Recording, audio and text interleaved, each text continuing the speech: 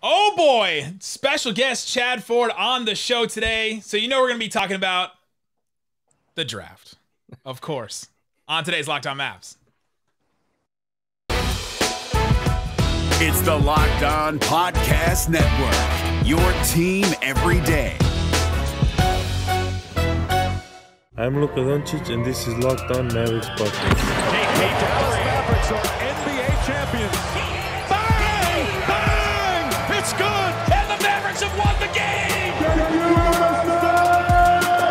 don't believe, you shouldn't be here.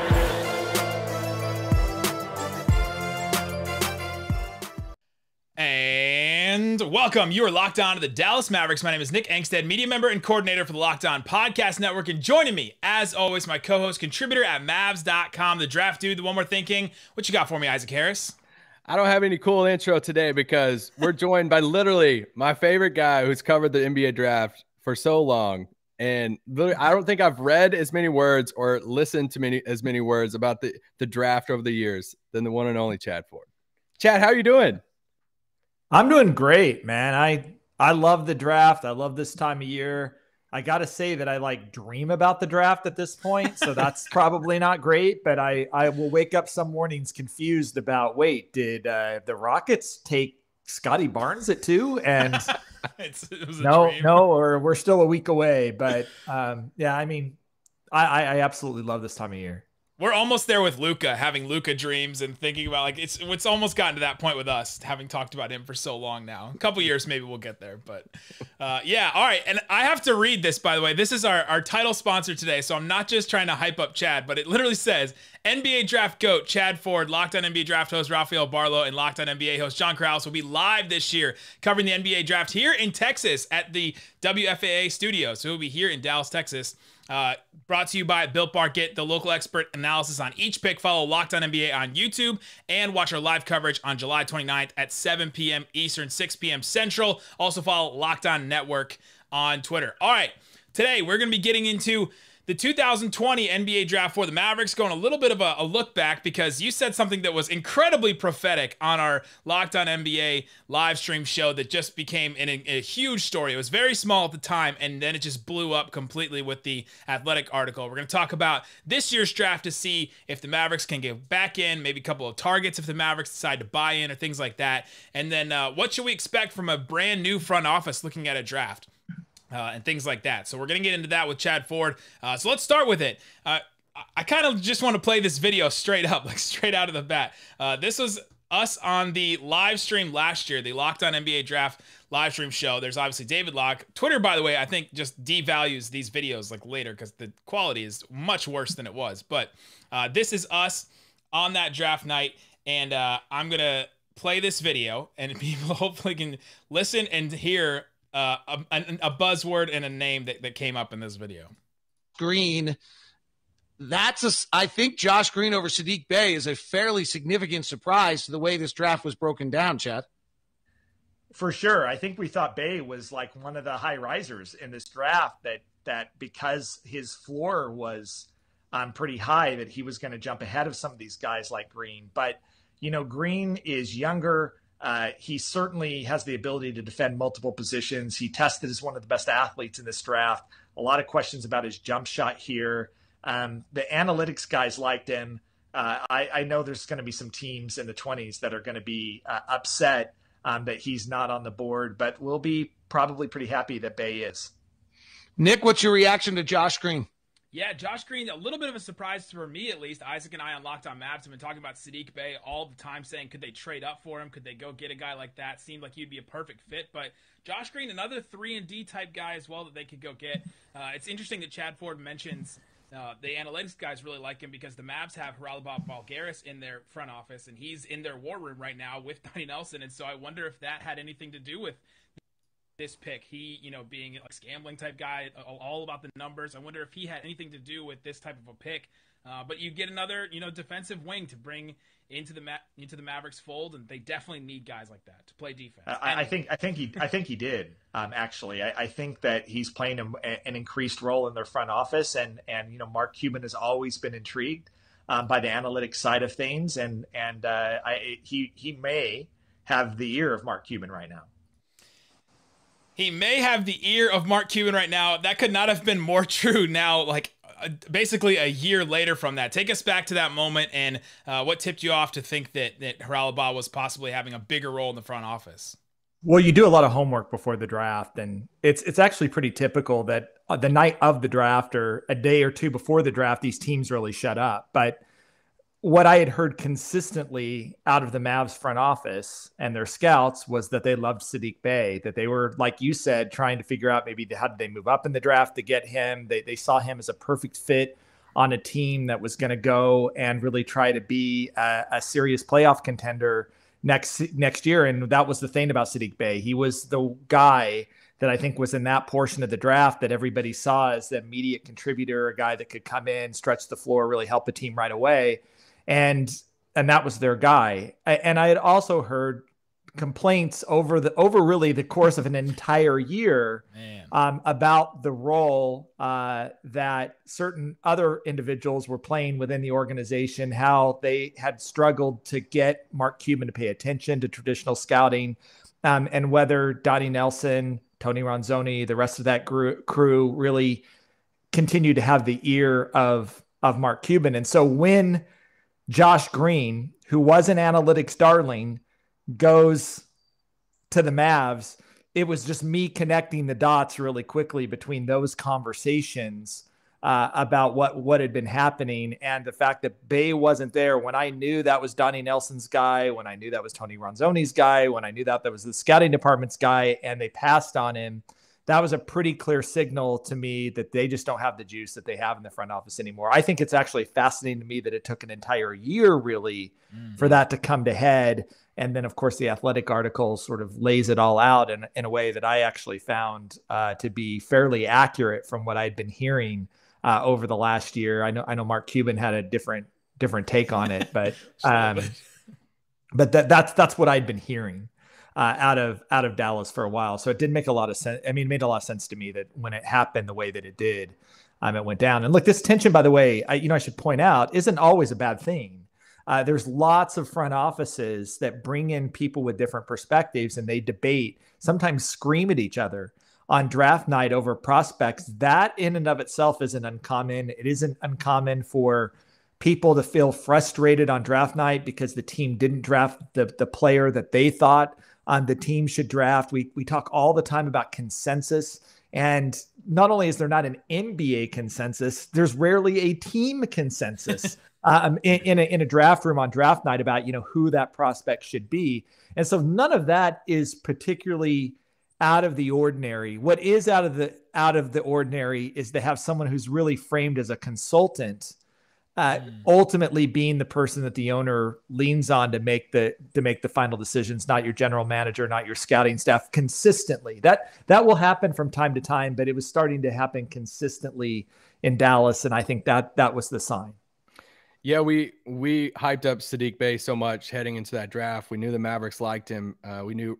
you know Ronzone, Donnie, and them had a great relationship with you know Jay Wright and Villanova, Team USA connection, and all of that. And uh, Josh Green goes. You know, I'd heard on that on draft night that night there was some there was some tension. I didn't know how bad it was on that, but just you shedding that light, I think is uh, important for us to see that because even us, uh, like the what if, because Saddiq Bey had such a good year and you know Josh Green struggled to kind of find a role for Dallas this year, and we ask ourselves, like, man, what if? Would he have gotten more playing time in Dallas? I have a question for you. For the other, you know, they took three draft picks that night and Tyrell Terry, Tyler Bey, Josh Green. Could you give us like your take on them? Like if you're if a Mavs fan sitting there saying right now, Chad Ford, who would you be the most excited about out of those three? And I guess I, Josh Green could be the the answer because he's an 18th overall pick. But which one of those guys would you be excited about as a Mavs fan going into the rest of their career? Well, one one interesting thing was that part of the part of the thinking too from Donnie and and the rest of the scouting staff is they knew who their head coach was, Rick Carlisle. Rick Carlisle doesn't like to play rookies not named Luka Doncic. Even I think Luka Doncic, it was probably pulling teeth at times for Rick Carlisle to give him the role that they, they gave him in Dallas. And and that's that's Rick going way back. That's Rick in Detroit. Um, you know, you you see this sort of happening over and over again with Rick. And so not only are you giving Rick a rookie, which he generally doesn't prefer anyway. But then you're giving a young, and inexperienced rookie like Josh Green the chances that that guy was going to get any minutes. I don't think that's completely on Josh Green. Mm-hmm. I think that also has a lot to do with coaching. And, you know, again, you read in the athletic article, sometimes the tension between the front office and the coaching staff about, you know, who gets minutes, who plays, and what have you. I'm sure Josh Green was one of those conversations that came up because you've got, again, a consultant who's thrown all their chips in and Josh Green, and then Josh Green can't get minutes, um, you know, on, on the team. And, and so I think I think some of that is we have to withhold a little bit about what we think about Josh Green's rookie season mm. because who his head coach is. Now, look, will Jason Kidd give him minutes? I don't know. I don't I don't think that's the direction necessarily that Dallas is going either. I think Kidd could also be a head coach who may not um, really want to again invest in developing a young player right now. And, and look, that's always again intention in front offices and coaching staff. Coaches want to win now. They want players that can help them win now. What are we hearing out of out of out of Indiana right now? Uh, where Rick Carlisle is, trade the 13th pick, get me Eric Gordon, get me mm. CJ McCollum, get me somebody who can come in and play right now don't draft uh, at the 13th pick, you know, someone who can't can't come in and play with me. That that's just the tension. It's not just Rick Carlisle. So I, I think Mav fans just have to be patient uh, with Green. I, I think that he's got a lot of talent. I really like Tyrell Terry. Um, to be honest, coming into this, I, I thought he is a a small guard who could really stroke the basketball. And and while I didn't think he's as dynamic as uh, let's say a Trae Young or someone like that, like maybe a Seth Curry type of of role that he plays going forward. Again, he very weak, wasn't physically mature, probably needed that year. Um, you know, frankly, uh, to continue to develop. But I, I, think he's an interesting prospect. And then, you know, Bey, who was a guy that the scouting the scouting crew really did like. By the way, this was this was probably the one where the scouts got their way uh, with Tyler Bey as an, an elite athlete. And uh, again, I, I I didn't have a problem with any of the the Mavs picks. I I believe actually I gave them an A on uh, on draft night. It was sort of a combination of that and and their trade, but I didn't have a problem with any of them.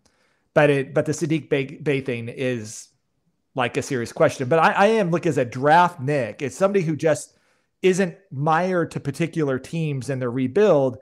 The general rule of thumb is that you take the younger player, you take the higher upside player. That actually, even though it seems so risky to fans, if you look at it historically, it generally pans out better than playing safe and getting the 22 year old guy who can come in and sort of help you right now. Uh, Saddiq Bey, I liked in the draft, had a lot of skills, but he was also a little bit older and, you know, lacked that sort of elite athleticism. The upside wasn't there that there was with a Josh Green. And so I, I think there's, there were reasons to argue for that. I just think Dallas was an unfortunate fit for him, uh, given his trajectory and development. It's a lot of good stuff. We'll be back with more from Chad Ford about the 2021 draft. We got to ask if the Mavs got back in, what would they do? What are potential targets? We'll talk about that. But I got to tell you first about Rock Auto. This episode is brought to you by Rock Auto. With the ever increasing number of makes and models, it's now impossible for your local chain auto parts stores, the ones on the side of the road, to stock all the parts that you need. So why would you go there, try and look for the part? You have to go to the counter and they're like, oh, we have it in the back. They go check in the back, they actually don't have it. And then you have to go back to the counter. They just order online anyway. You can just not waste all that time. Instead, go to rockauto.com right now. See all the parts available for your car or truck, and you can see that their prices are always reliably low for every single customer, not just the professionals, but the do-it-yourselfers as well. Go to rockauto.com right now. See all the parts available for your car or truck. Right, locked on in there. How did you hear about us box? So they know that we sent you. Amazing selection, reliably low prices, all the parts your car will ever need. rockauto.com. We're here with the draft goat, according to our promo today, Chad Ford. What do you think about being called the, the draft goat? Like that's that's such a big title. Yeah, it's it's awkward. Uh, and you know, you're reading that same copy, and sometimes I don't carefully look at the copy before I go. And so when I started reading it for mine, like that came out of my mouth, and I'm like, okay, we're gonna read, we're gonna redo this. Not a thing Chad Ford would say, I don't think. Uh, no. Um, you know, I, I all it really means is that I'm old and I've been around a long time. I mean, that's really, you know, and you can start to see the gray on the beard. Like that, that's that's all it means is that when I started, I didn't have any of this beard and I had a lot more hair on the top of my head. That's experience. That's who I want to go to for my draft knowledge. for sure, for sure. Uh, all right. For speaking speaking of draft knowledge, 2021 NBA draft. We just launched the ultimate mock draft that you're all over, uh, breaking down some of these picks. The Mavs do not have a pick, so it's kind of weird that you're on this podcast today. Uh, the Mavs don't have a pick at all. But let's say that this Mavs crew, this new front office, and uh, Mark Cuban decided to get back into the draft. Let's start with just you know the lottery. What, who are guys in the lottery that you think the Mavericks should start looking at, or if they got a lottery pick? Uh, let's say you know in like the 9 to 13 range or something like that. Who are some some targets that would fit well with this Mavs team? Yeah, it's it's a little bit hard to know exactly how the Mavs would get there uh, without you know break. Obviously, they're not trading Luka, and they're not probably going to trade Porzingis. And frankly, you know what Porzingis trade value is in the league right now is a little bit hard to get my arms around. I've actually been trying to ascertain that because that does seem to me to be one plausible avenue uh, for Dallas, though they do seem, I think, to be more in win now mode than building through the draft. But, you know, Franz Wagner is a guy that I think you would immediately look at and say he's a Dallas type of player. He's an analytics darling uh, all the way. Alperen Sengun out of Turkey, same thing. Some, on some analytics models, he's ranked number one in wow. this draft just off the uh, level of production that he had in Turkey, where as an 18 year old, he was the Turkish League MVP. Wow. And the Turkish League, by the way, for those that don't follow the Turkish league is one of the, you know, two or three best leagues in Europe. So it's a very legitimate league with former NBA players, um, you know, spread throughout the league. And so for an 18 year old to come and do it, really, there's only one precedent for someone doing it like that, and that's Luka Doncic. Uh, and so when you're seeing Sengun put up those numbers like that, it's really interesting. And the same kind of knocks against Sengun. He's not the greatest athlete in the world. You know what? You know what position does he actually sort of play in the NBA? I think they're more legitimate with Sengun because he he plays as a center, but mm-hmm. plays as sort of an old school center right now in Turkey with the league just evolving away from players like that. But it does seem to me the one thing I'll say that he has in common with Doncic is he's got like a savant esque feel for the game. It's otherworldly for a player his age, the way he sees the game, the way he, especially offensively, um, what he's able to do. And so, you know, those were the first two players that, like, you know, come to mind given what Mavs have liked in the past, both that, that they're not afraid to go after international prospects, and two, they have they have a history of uh, lately of relying on analytics to sort of tell them who who they should be drafting in that range.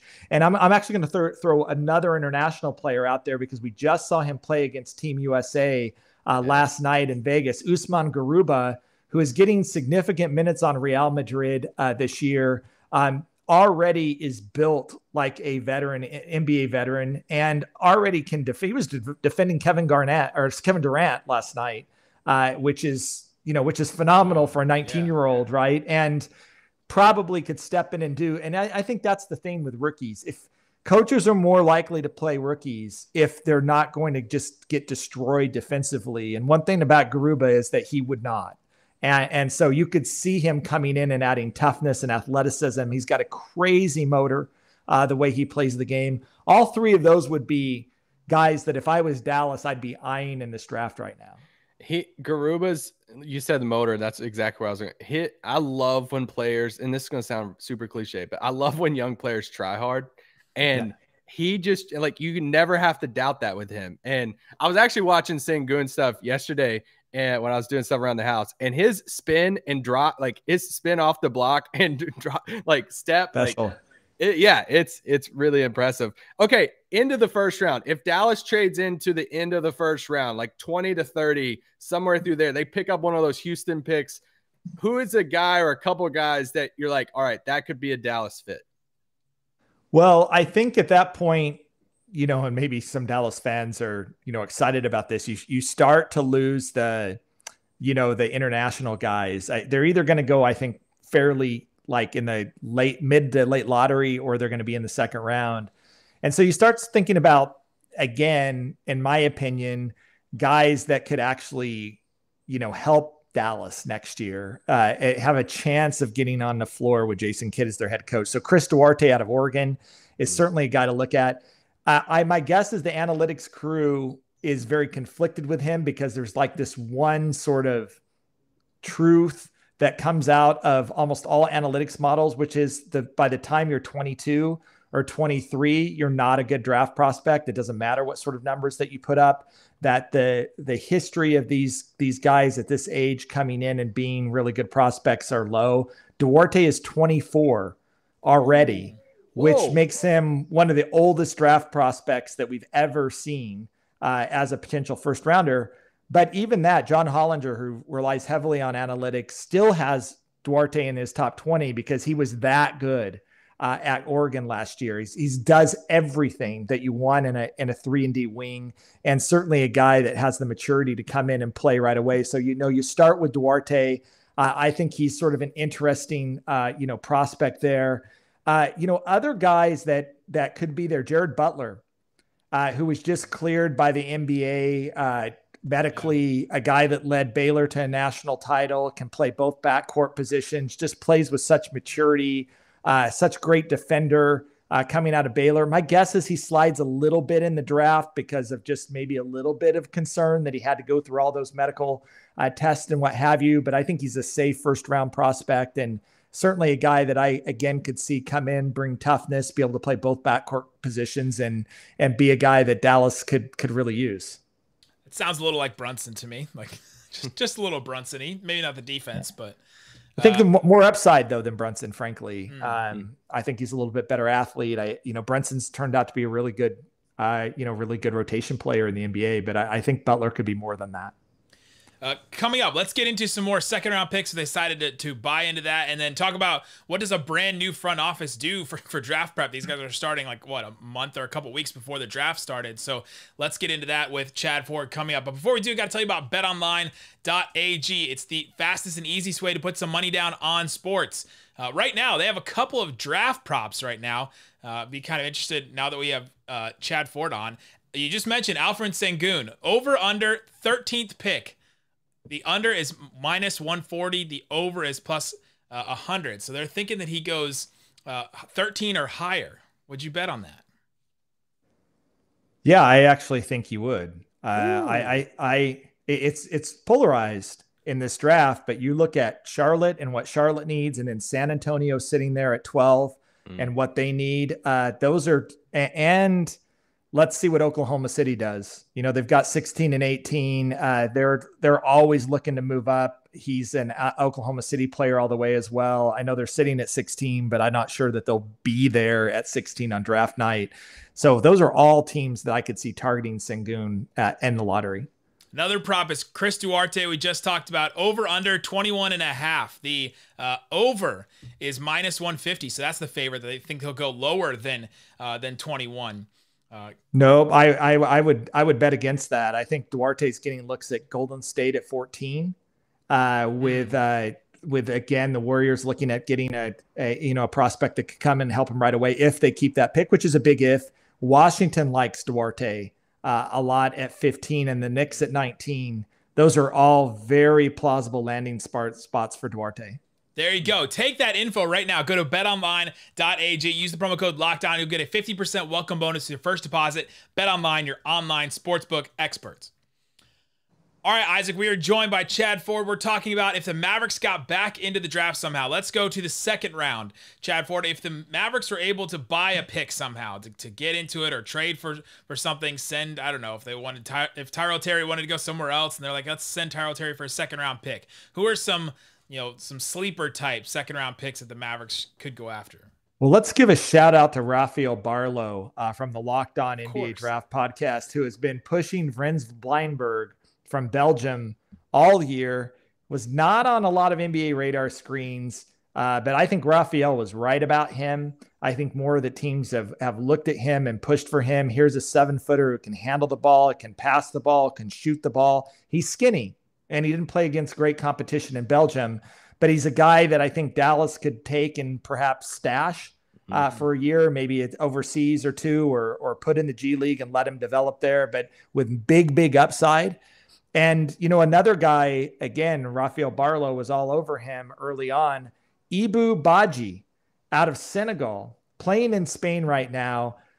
One of the most freakish athletes you'll ever see in a seven footer. Like freakish, like Dwight Howard esque uh, athlete and body right now.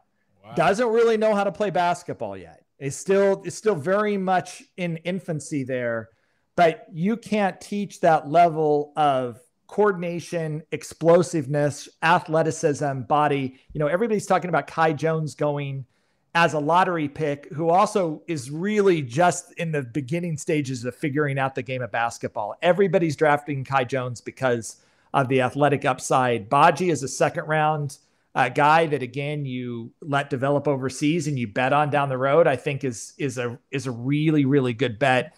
And then if you want a non international player, uh, Herb Jones out of Alabama is a guy that I think uh, is a really intriguing prospect again because his ability to defend three to four positions, to be able to handle the ball uh, a bit, you know, questionable jump shot. I think that's going to be his swing skill of whether he makes that in the NBA. But Herb Jones could be a really intriguing second round prospect, in my opinion.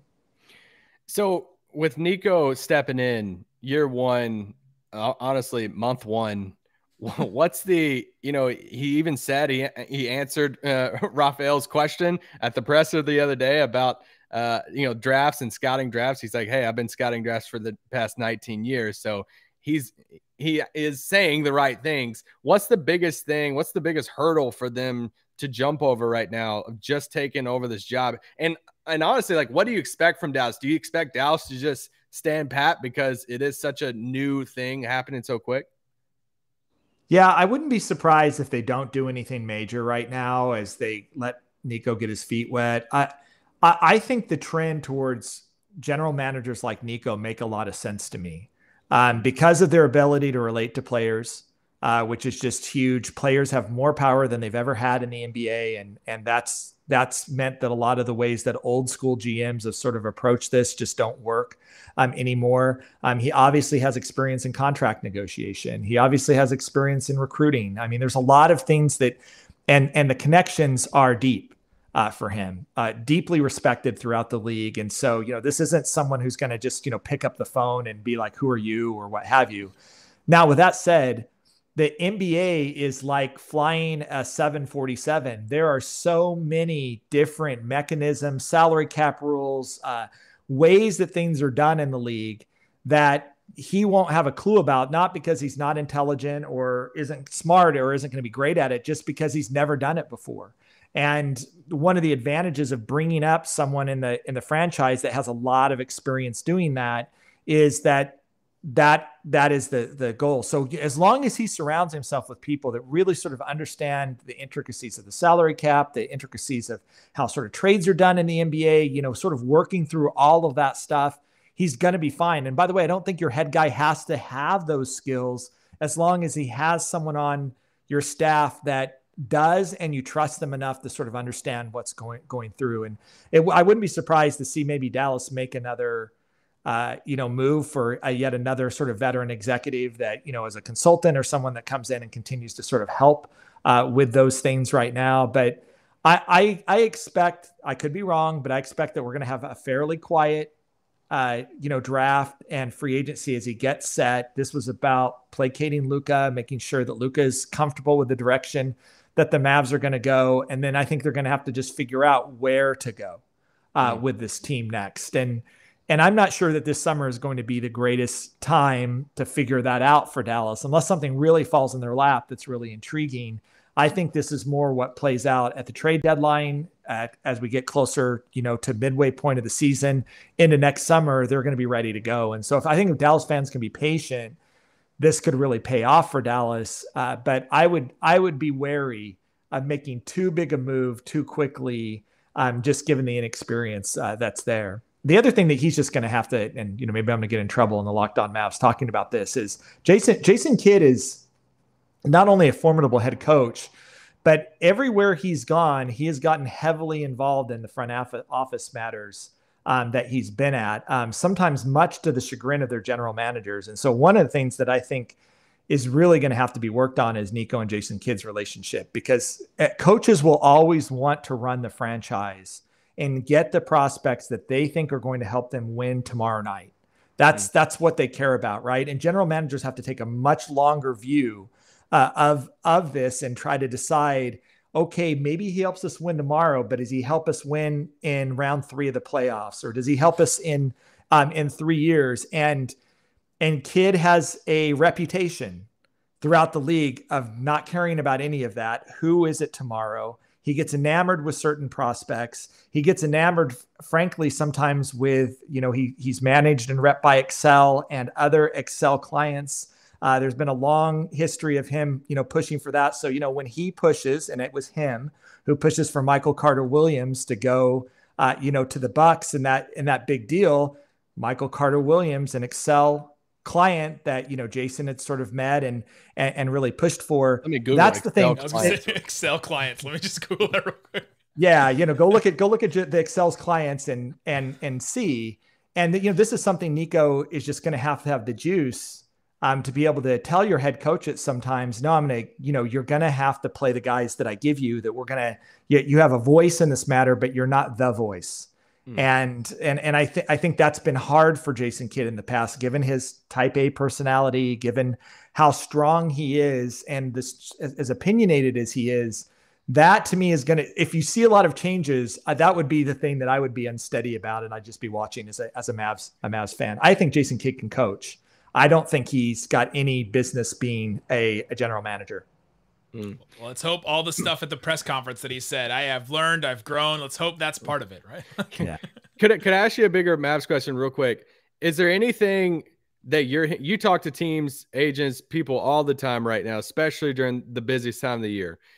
Is there anything you're hearing Mavs wise, Porzingis wise, any, even not even like rumor stuff, but just like what's the general talk around the Mavericks right now around the league? I, I, I, th- first of all, I think the Nico um, signing Nico was very well received around the league generally. I, I, think it was much more media that were miffed by this than than anybody in the league who saw this coming years ago. And in fact, I think he's turned down multiple offers uh, in the past. Uh, and so the fact that that Mark got him, I think, is just generally considered a, a coup for them and and the right move. I, I would say that the Jason Kidd hiring was raised a lot more eyebrows were raised around the league about that and and why they made that uh, choice why they didn't uh, bring in Jamahl Mosley uh, to to coach to coach there. Uh, I think given the developmental curve of Dallas and everything else I think there's a lot more question marks there. And then as far as the roster one of the things I've been trying to ascertain is what is Kristaps Porzingis's trade value on the market? Because he's really the chip I think that they have if they want to make a, a significant move uh, whether that's in the draft or just in you know in swapping out players.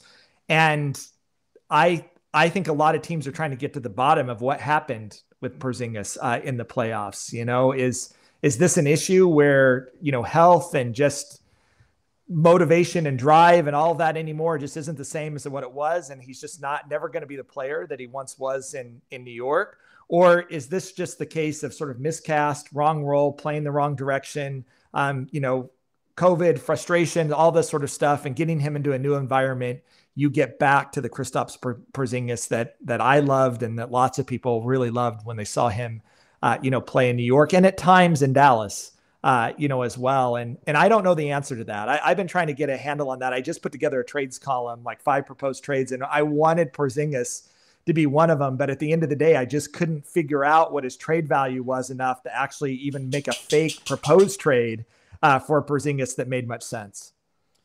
Interesting. Good stuff from Chad Ford. You can find him on the Chad Ford's NBA Big Board podcast as well as uh, NBABigBoard.com. Go subscribe to that. Always great stuff. Of course, the ultimate locked on uh, mock draft. There's the live show that'll be at WFAA. You can watch that streaming lot. Chad, you're just everywhere. Like the draft is just it's exploding with stuff right now. Busy, busy times, but Anything good times. Good times. No, no, I think you got it. okay.